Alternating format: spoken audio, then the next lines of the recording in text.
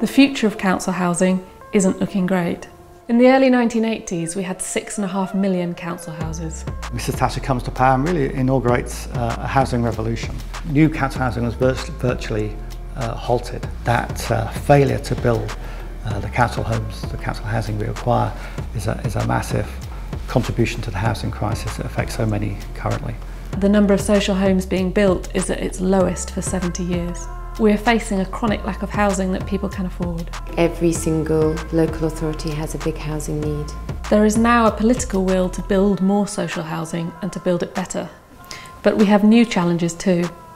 In recent years, we've seen offices converted into what some have called modern day slums under permitted development laws. Housing should be designed to be happier and healthier. New homes should be warm, spacious, built to last with decent outdoor space.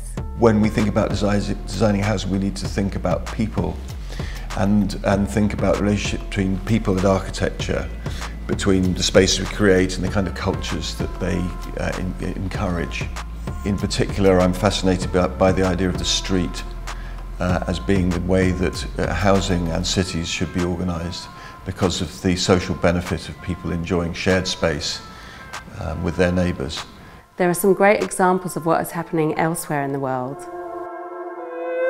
Social housing in Vienna. There they had the same moment in 1977, shall we ditch all this or should we carry on going? And they carried on going, so still half the population of, of Vienna lives in social housing. There is no stigma attached to it whatsoever. There are bankers living next door to road sweepers, um, and it's, it's something that they celebrate.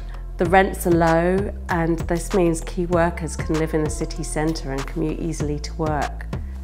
In France, instead of knocking down their 20th century housing estates, they're improving them.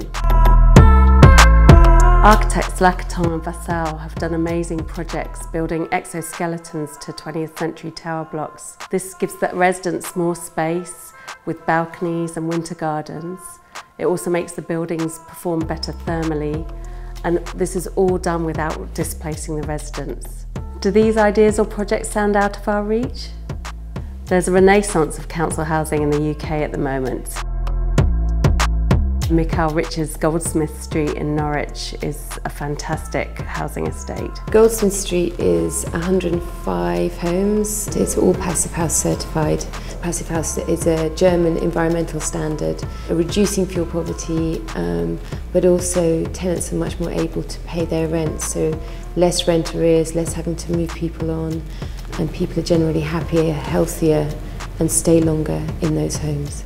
I don't buy the, the social housing stigma uh, thing. Uh, um, I think the creation of social housing in the 30 or 40 years after the Second World War is one of the greatest achievements of our nation. And, and, and, and you know, no other country built social housing at that rate. It was incredible, absolutely incredible. I say this is a question of choice.